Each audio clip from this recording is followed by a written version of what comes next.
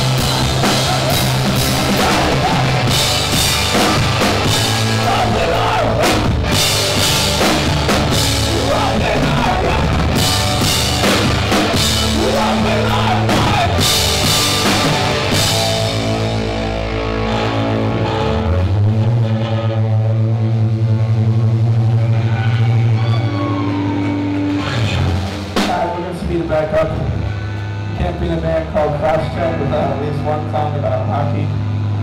So the song is called Power Lines.